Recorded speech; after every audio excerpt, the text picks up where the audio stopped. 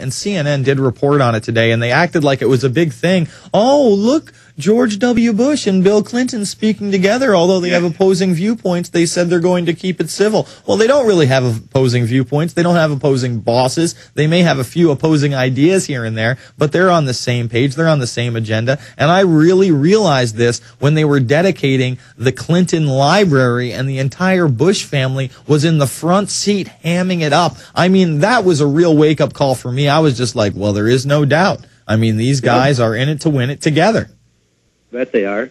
Well, I just want to give uh, let everybody in the Toronto area know that if they're interested, that they're, that they're at the Metro Toronto uh, Convention Center from 3 to 6 p.m. So if anybody wants to go there, we'll be there.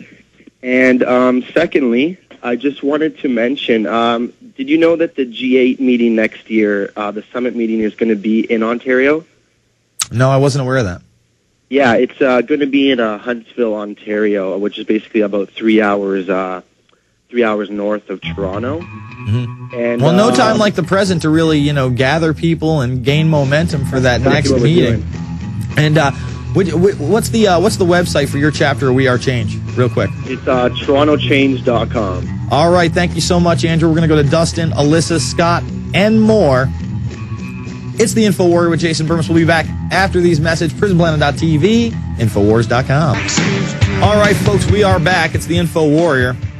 Remember, if you miss any of this program or you just want to download the programs after you hear them, uh, the podcast is always available the next day. I've got a new YouTube channel, YouTube slash Jason Justice 911. Of course, podcast always available over at Infowars.com if you missed the Alex Jones show. And then I've got a little play thing on the side where you can pick out, uh, I think the last three months worth of shows and just, hey, on demand little flash player. And, uh, GCN also runs this show for 24 hour loops until the next one on its on demand section that also located on the left hand side of the Info Warrior. All right, let's keep going to your calls. Dustin in California, you're on the air. Hey man, what's up? What's up, Jason? How you are? How are you? I'm all right, brother. Hey man, um, I just wanted to talk about like I had sleep problems like about maybe like two years ago, Mhm. and like um, you were talking about that Ambien. Well, my doctor was trying to prescribe me some sleep medication. I was like, nah, man, because I know people who take that stuff recreationally. Mhm. So what I did was, since I live in California, I can get medical marijuana, and that's like pretty much like legal under the state level. But on federal, you know, it's just pretty much like against the law. Yeah, and you know what? A great film that really portrays that, you know, they've decriminalized it pretty much altogether in California. It's very hard to get in trouble, especially if you have one of these cards that's prescribed by a doctor, which is very easy to obtain. I mean, it's not difficult. And there are these shops all over the country. Well, you, the people of California want this. They voted it in. And the uh, film Super High Me takes a really f- funny look, not Oh. only at, at marijuana use, uh, and really its true effects. But the federale is coming in and busting a lot of these head shops up without these, you know, after the state said no, get out of here. And uh, I, I just really found it uh, an entertaining movie. It came out last summer on DVD and in theaters. I hope people go check it out. Have you seen it? Yeah, I seen it. My friend has it on his um like on Direct TV on his like DVR. Mhm. He recorded it for me. You know, he he was being awesome. But what the honest thing, I, I really like that movie. But Mm-hmm. um, yeah, I I I I seen Endgame and all the other stuff. You know, I know about like how the New World Order is rising and how like Bilderberg was just like a couple weeks ago. Mhm. Like it's really tripping me out that this stuff is really happening, yo.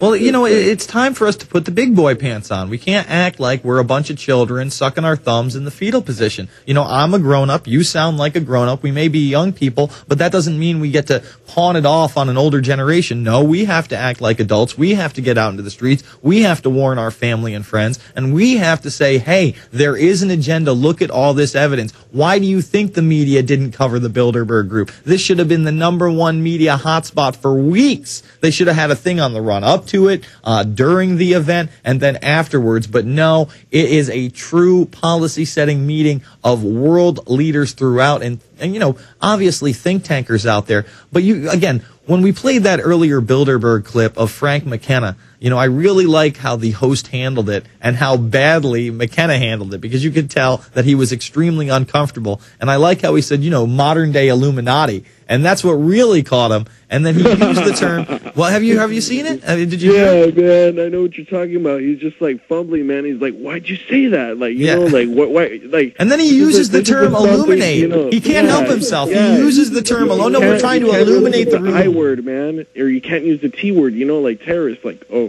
I just said it. Oh man. You know, like if you say like terrorist on a plane. Oh crap.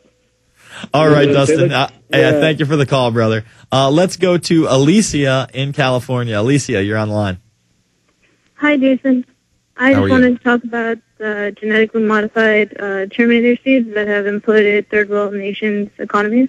Well, forget about third world nation economies. Australia announced that they're just going to start using GMO seeds. They're going to be mixing them with the regular ones, and you don't have a choice. And no, they're not going to be marked. So it's no longer just third and second world nations that are getting these very unhealthy seeds. It's now Australia, which I would consider a first world nation. Yeah, not just that. Uh, they've actually been caught putting uh, salmon eggs inside potatoes uh, to keep them preserved longer, and uh, they're farmed basically with a lot of oil. Mhm. So uh, it takes your body more energy to process food than the nutrients you actually get from it. Yeah, no, I mean, look at Monsanto. Look at the monsters over there, and I thank you for the call, Alicia. I mean, they literally, in a program, grew live HIV virus in corn. Just type in Monsanto, live HIV, corn, and you'll find out. I'm not Johnny Nonsense. You know, I'm not Bobby Bullshiz with a Z. I'm telling you the truth. And it's unfortunate. We'll be back after this. It's the Info Warrior with Jason Bermas, PrisonPlanet.tv, Infowars.com. And yes, I did steal that.